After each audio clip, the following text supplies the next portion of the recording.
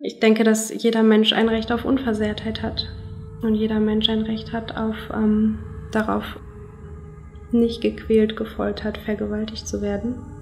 Und äh, wenn er sich in einer Umgebung befindet, wo dem Menschen das droht, dann sollte der Mensch das Recht haben, diese Umgebung zu verlassen.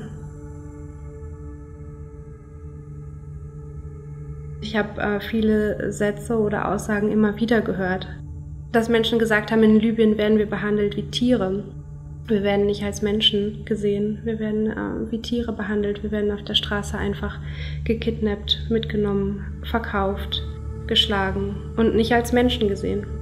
So dass viele der Gäste bei uns an Bord ähm, das wirklich erwähnt und betont haben, dass sie seit langer, langer Zeit das erste Mal wieder das Gefühl haben, ein Mensch zu sein und als Mensch gesehen zu werden. Ja, viele der Menschen, die bei uns an Bord kommen, sind ähm, verletzt, haben äh, Spuren von Folter, von Gewalt, Schussverletzungen beispielsweise. Also wirklich körperliche Verletzungen, aber auch ganz viele seelische Verletzungen, die sich oft auch in der Situation körperlich äußern. Und dann natürlich ganz viele Angstsymptome, Panikattacken, ähm, Angst, Schlaflosigkeit, Erinnerungen an die Vergangenheit, die sie nicht loswerden können, Albträume. Wenn ich mir die angehört habe, gedacht habe, wie kann man überhaupt mit so einem mit so einem Hintergrund und mit diesen Erfahrungen, wie kann man da überhaupt noch Dankbarkeit für irgendwas empfinden?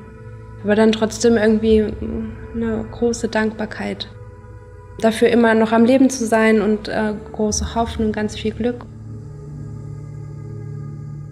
Das hatte ich und das hatten auch meine Kollegen im Team, glaube ich, dass wir manchmal, wenn wir so viel Glück und Hoffnung gesehen haben, einfach unheimlich traurig geworden sind, weil ich weiß, was in Libyen passiert. Ich habe die Geschichten gehört, ich habe ähm, gehört, wie Menschen beschrieben haben, wie sie dort behandelt worden sind. Und ähm, mir macht es wahnsinnige Sorgen, dass Menschen dahin wieder zurückgeschickt werden.